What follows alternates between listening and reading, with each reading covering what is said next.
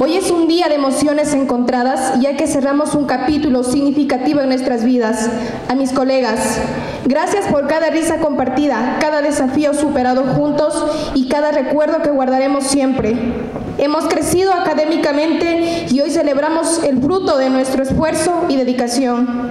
Una vez más, alegre de entregar a la sociedad un grupo de 106 bachilleres que convencida estoy muy preparados para enfrentar los desafíos que les ofrece el otro estilo de vida que van a seguir nuestros jóvenes.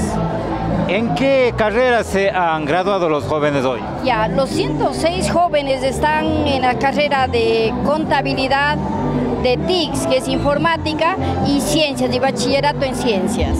Felizmente todos cumplieron con los requisitos que el Ministerio de Educación ha impuesto, se sujetaron a los debidos protocolos y todos los 106 felizmente graduados hoy, bachilleres de la República.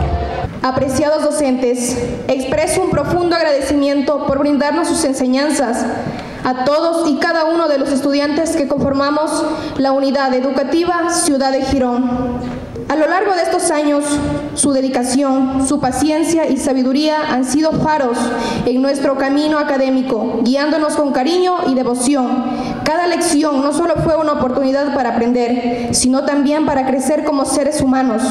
La institución ha sido un espacio donde hemos forjado amistades duraderas. Descubrimos nuestras inclinaciones académicas Llevaremos con nosotros no solo los conocimientos adquiridos, sino también los valores y lecciones de vida.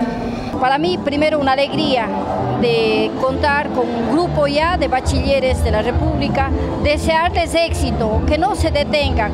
Hoy, gracias a Dios, gracias a las universidades, han ofrecido muchas becas. Nuestros jóvenes, eh, un grupo numeroso, accedieron a estas becas y los que no, pues por favor que sigan adelante. Hoy la educación es el paso al éxito, no podemos detenernos, queridos jóvenes.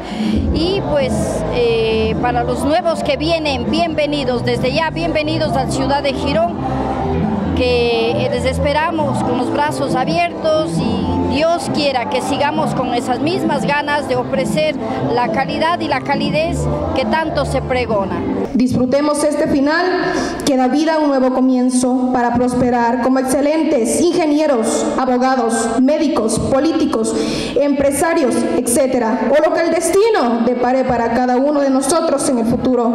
Progresemos como seres humanos, llevemos con nosotros las lecciones aprendidas y afrontemos el futuro con esperanza y determinación.